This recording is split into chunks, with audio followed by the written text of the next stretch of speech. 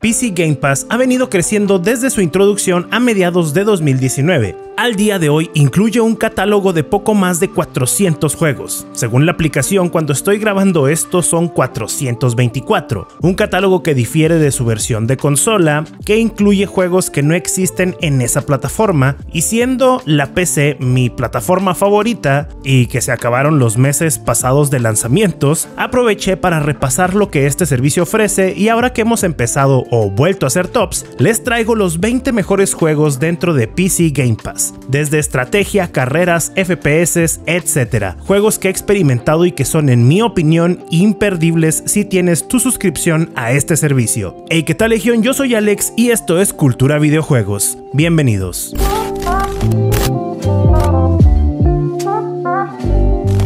Recuerda que puedes comprar nuestras playeras y hoodies en niñogamer.com. Antes de continuar, esta lista incluye juegos de los estudios de Microsoft, que también incluye a Bethesda, así como indies increíbles y juegos de EA Play, ya que pues viene incluido y hay unos que valen la pena. Otros puntos importantes, hay algunos de estos juegos que solo se encuentran en PC y esta lista no está en orden del mejor al peor, ya que en mi opinión todos estos juegos son recomendables. Con eso establecido, comencemos.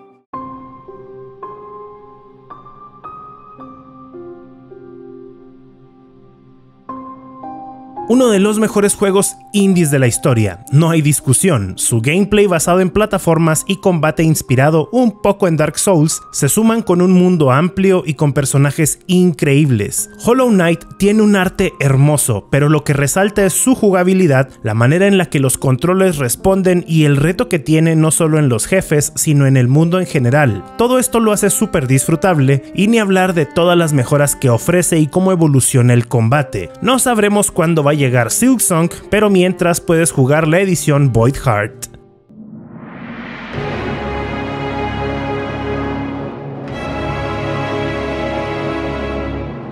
Obsidian se ha hecho historia haciendo buenos RPGs, y este es un juego que te da la opción de jugarlo un poco más como de acción o por turnos. Pillars of Eternity 2 Deadfire demanda atención, tiempo y habilidad. Me encantan los elementos de rol de mesa con sus acciones y diálogos muy al estilo de Calabozos y Dragones. Su historia es compleja e interesante, la construcción del mundo es como pocos en el género y me hace recordar el Dragon Age Origins que tuvimos algún día. Definitivamente es un título para aquellos que adoran los RPGs de sangre pura. Y si quieres iniciar desde el inicio, también está el primer juego de esta franquicia,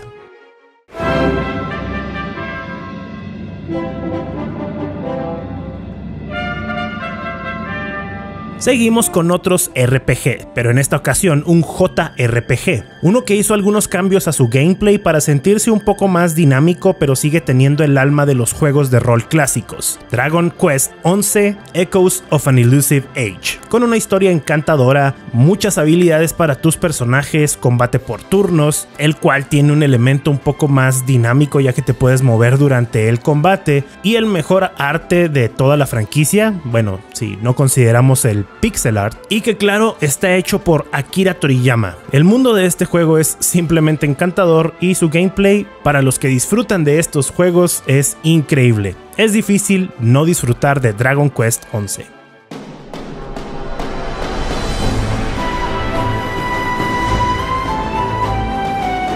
Este juego es la respuesta a qué pasaría si unimos Cuervos y Dark Souls. Death's Door es una de las sorpresas más grandes de los indies recientes. Esta historia de un emisario de la muerte encargado de recolectar almas que se encuentra con complicaciones en su más reciente misión que lo llevan a enfrentarse a varios desafíos, todo detrás de un encantador cuervo que parece ser algo que no requiere de mucha habilidad, reflejos o atención, pero una vez que lo empiezas a jugar te das cuenta de que son muy necesarios. Su gameplay es adictivo y su arte e historia geniales. Definitivamente debes de jugarlo.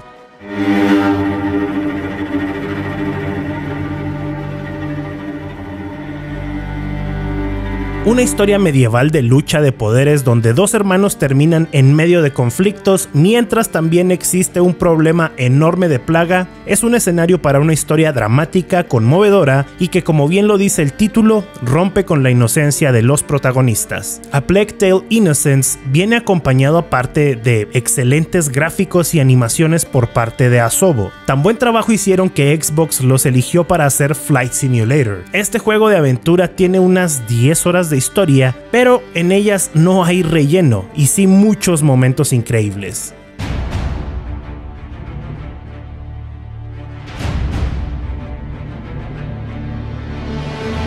No se puede hablar de juegos de estrategia y dejar fuera Age of Empires. La franquicia establece muchos de los estándares que existen hoy en día y con su cuarta entrega nos da lo que esperábamos de ella, aparte de una documentación de historia muy bien desarrollada en este tipo de documentales. El reto de este RTS sigue presente, pero también se adapta para aquellos que quieran entrarle por primera vez al género. Puedes usar múltiples civilizaciones tanto en su modo historia como en la escaramuza que es donde realmente va a refinar tus habilidades para jugar contra otros jugadores, contra inteligencia artificial, amigos tuyos o algún retador en línea.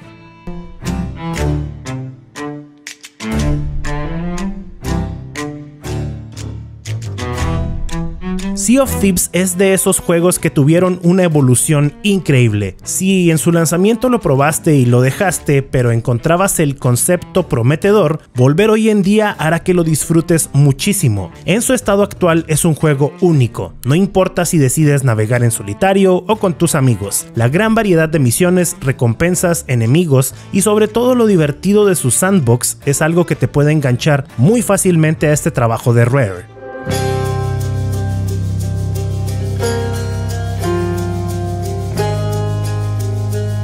Los roguelikes son juegos ideales para aquellos que quieren un reto continuo en sus juegos. Hades no decepciona nada en este aspecto, su combate es extremadamente disfrutable, el ir mejorando conforme vas pasando en diferentes salas, no solo por conocer cómo atacar, sino también por los boosts que te van dando, hace el combate muy satisfactorio y te mantiene al filo de tu silla porque en cualquier momento puedes perder todo. Bueno, no todo, existen maneras de no empezar de cero cada vez, lo cual lo hace un poco más justo todo esto está empaquetado con un excelente arte, una buena historia y música increíble. Un buen trabajo de Super Giant que no deja de impresionar juego con juego.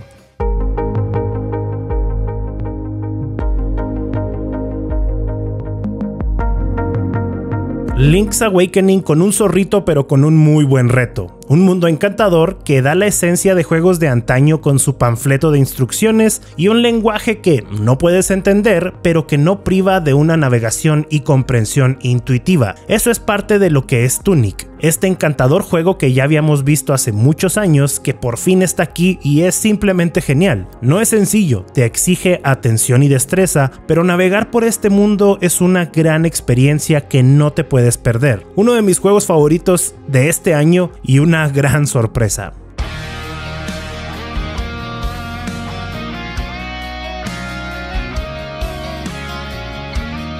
Este no tuve oportunidad de jugarlo de lanzamiento y cuando vi que iba a salir en PC Game Pass, vi la oportunidad y la tomé. Y sinceramente qué bueno que lo hice, porque después de Avengers no estaba muy seguro de si lo quería jugar. Pero Guardians of the Galaxy es todo lo contrario al mencionado cuenta con una buena historia, gran humor, buenas actuaciones, un gameplay entretenido y gráfica y artísticamente es sobresaliente. Es sin duda uno de los mejores juegos que han salido con el sello de Marvel. Su combate, si bien se puede sentir que va a la segura, no aburre y se ve la influencia de juegos como Final Fantasy XV en el equipo de Eidos. Antes de continuar, hay algunos juegos que no voy a entrar a ellos en detalle, pero son menciones honoríficas que solo voy a decir por su nombre. Así que ahí va. It Takes Two, Microsoft Flight Simulator, Hellblade Senua Sacrifice, Back for Blood, toda la saga Dead Space, toda la saga Dragon Age, todo Fallout, Nobody Saves the World y Psychonaut 2.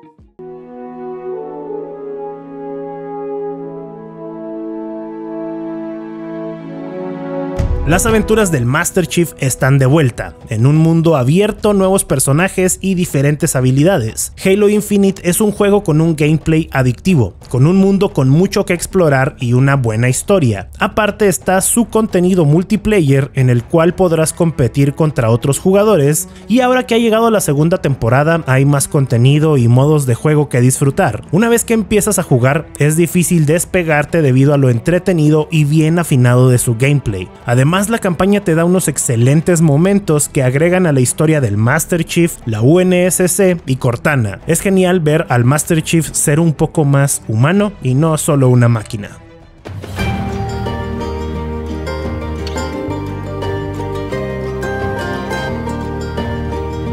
No existe juego de vehículos de mundo abierto más detallado, gráficamente bonito e impresionante que la representación de México en Forza Horizon 5. La gran variedad de vehículos, desde deportivos hasta off-road, y su alto nivel de personalización se suman a una gran variedad de eventos, tanto los hechos por Playground Games como los creados por la comunidad. Visitar los diferentes lugares de México plasmados en este juego a toda velocidad es una gran experiencia. Aparte cuenta con retos para desbloquear aún más contenido, como un pase de temporada y muchos eventos y secretos en todo este enorme mapa que puedes cruzar como te plazca, pero siempre, siempre con algo impresionante que ver. No importa si es jungla o Guanajuato, las barrancas del cobre, Cabo San Lucas o las múltiples ruinas representadas en este juego. Todo tiene un nivel de detalle excelente y una sensación de velocidad increíble.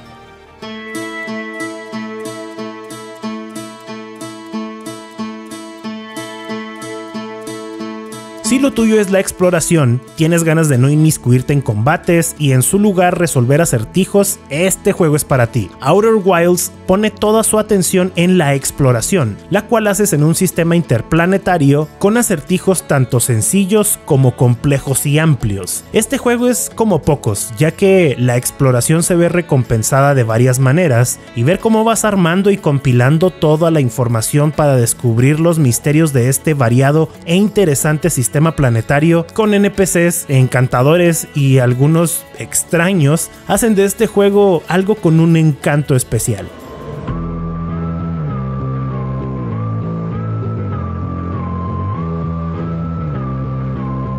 Y de un juego sin combate nos pasamos a otro donde este es el plato principal. Doom es uno de los juegos más icónicos cuando se trata de FPS, y en Doom Eternal está el pináculo de esta serie. La exploración, movimiento y sobre todo algo poco esperado en la serie, una historia muy buena, ya que con The Ancient Gods se ha extendido esta batalla que existe en el universo de Doom, con combates frenéticos alocados, con habilidades, armas y ejecuciones brutales, aparte de una música que te anima a moverte violentamente por cada esquina de este juego, Doom Eternal es una de las mejores experiencias de disparos en los últimos años y una muy difícil de superar.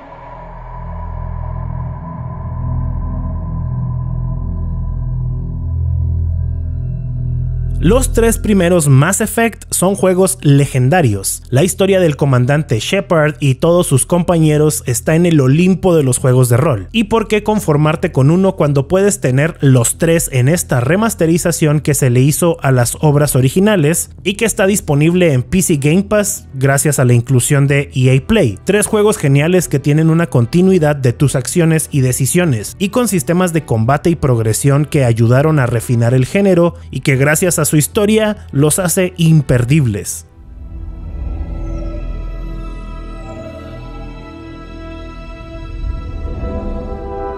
Jedi Fallen Order es el mejor juego de Star Wars. Personalmente no tiene competencia. El combate con mucha acción e influencias de juegos como Sekiro lo hacen muy disfrutable, pero con su reto, todo el lore de Star Wars está aquí y encontramos personajes que se mantienen en las laterales de las grandes historias de la franquicia, pero que agregan de una excelente manera. Respawn realmente hizo un gran trabajo en este juego, con niveles y ambientes geniales, enemigos memorables y un combate muy divertido. La verdad, no se lo pierdan.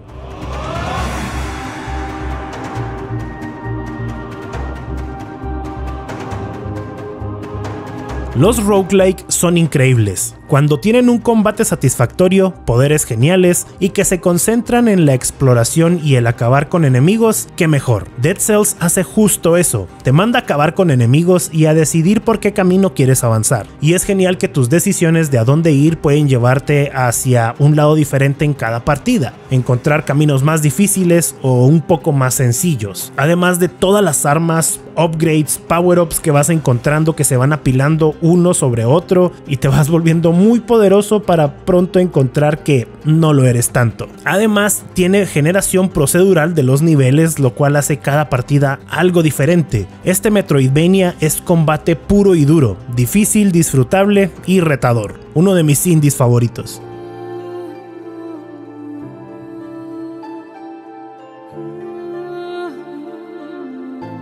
Un Metroidvania más a la lista, una historia conmovedora con un arte fenomenal. Ori and the Will of the Wisps es una evolución increíble del primer juego y que ofrece momentos fenomenales tanto en gameplay como en historia. Los diferentes mundos del juego, el ir desbloqueando los distintos caminos y ver a la par avanzar la sutil pero encantadora y conmovedora historia de este juego es una de las mejores experiencias que he tenido en este género. Las diferentes habilidades y el ritmo con el que las vas obteniendo hacen este juego evolucionar constantemente y debo admitir que lo he acabado más de un par de ocasiones. Es así de bueno.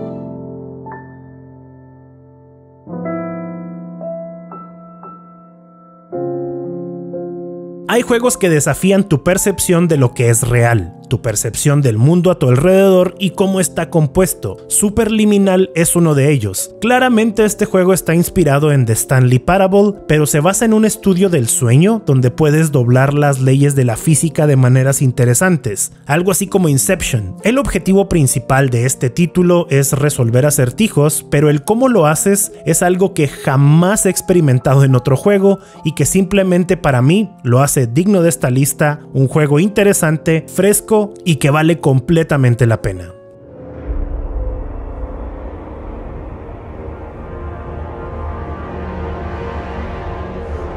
Para un juego de estrategia, unir la experiencia de Total War con sus batallas enormes de ejércitos de cientos de unidades con el universo de Warhammer es algo que resulta en algo súper satisfactorio de jugar, con un mundo interesante pero también retador. Tu rol como comandante de estas batallas masivas es uno ocupado pero sumamente entretenido sin importar la facción que elijas. Las estrategias de ataque, alianzas, avances en habilidades y diplomacia que involucran este juego de estrategia tienen cada una su importancia y peso en tus posibilidades de éxito y se conectan de una manera muy cercana. Si eres fan de los juegos de estrategia y quieres algo en una escala masiva con un universo tan genial como el de Warhammer, dale una oportunidad. Y estos fueron los 20 títulos y unos cuantos extra que para mí no te puedes perder en el PC Game Pass. Este servicio de Xbox que se extendió a la PC y ofrece juegos que solo se pueden disfrutar en esta plataforma o que se juegan mejor con teclado y mouse. En mi opinión, como los de estrategia. ¿Cuáles son los que tú consideras que debieron estar en esta lista ya que me estoy dando tiempo de probar muchísimos de ellos? Y esta es mi opinión basada en mi criterio y mis gustos. Seguro hay alguno que ustedes recomiendan que yo he probado y también es un excelente juego y me lo estoy perdiendo. No dudes en dejarlo en los comentarios. Si te gustó este video, dale like, compártelo con tus amigos, suscríbete al canal y dale click a la campana para que no te pierdas ninguno de nuestros contenidos. Si quieres apoyarnos más, puedes ir a nuestra campaña de Patreon, comprar alguna playera en niñogamer.com, suscribirte a mi canal de Twitch o hacerte miembro aquí en YouTube. Como siempre, muchísimas gracias a los que ya nos apoyan de cualquiera de esta manera. También puedes apoyar dándole like, poniendo tu comentario, pasándole el video a algún amigo. Eso nos ayuda a que YouTube vea este contenido y diga que es bueno para compartirlo y poder llegar a más personas. Además, suscribirse es gratis. Puedes seguirme en mis redes sociales, me encuentras en Twitch y en Twitter, que es la que más utilizo, como AlexCBJ, y en Instagram, que también la utilizo un buen, como AlexCBJ, solamente quita la E. Eso es todo por mi parte, muchísimas gracias por tu tiempo y tu visita. Yo soy Alex, esto es Cultura Videojuegos, los quiero un chingo y nos vemos en la próxima. Bye bye.